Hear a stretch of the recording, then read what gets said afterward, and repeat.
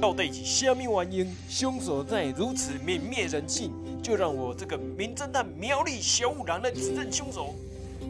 凶手不是在场的各位，我还没讲了，是你温杰人。爱志远医生，你提供了过期的安眠药，交给了何娜娜。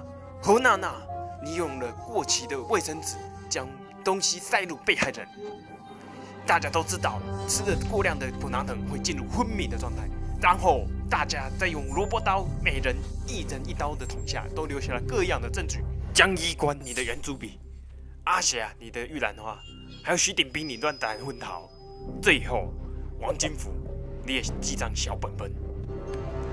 千重万重，门关踢就尾了。我相信你们下车以后自首，还有可教化的可能。